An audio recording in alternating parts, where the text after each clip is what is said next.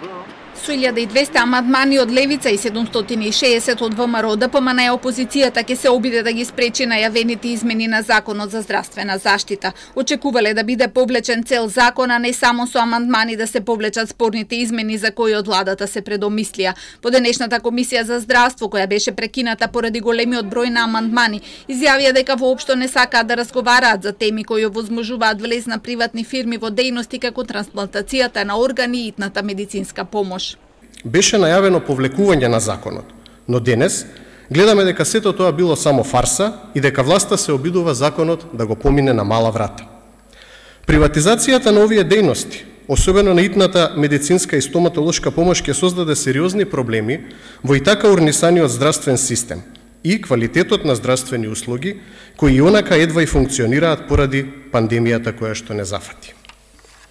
Во измените и дополнувањата Има доста недоречености кои што оставаат простор за различно толкување и не се појаснува дали овие измени ќе допринесат за зголемени трошоци на граѓаните при користењето на овие услуги. Опозицијата тврди дека никакви амандмани од мнозинството не стигнале во собранието, но од СДСМ не ги испрати амандманите со архивски број. Има неколку амандмани, имаше за здравствено осигурување, тие два ги поминавме, и има околу пет амандмани за Законот за здравствено заштита. Значи се поднесени, се осмислени од наша страна и други амандмани има кои што ги добивме по барање на стоматолошката комора и на лекарската комора на Македонија и тие исто така се поднесени. Меѓутоа се тоа да кажува дека фактично не станува збор за желба да се направи конструктивен закон, него напротив желба да се блокира.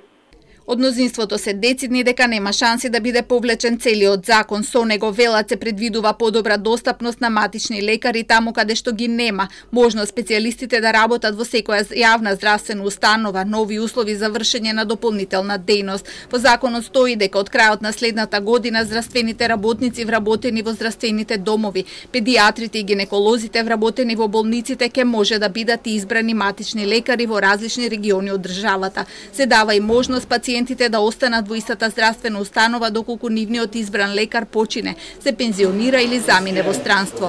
На барање на опозицијата, Министерот за здравство прифатил да се одржи јавна расправа следниот петок.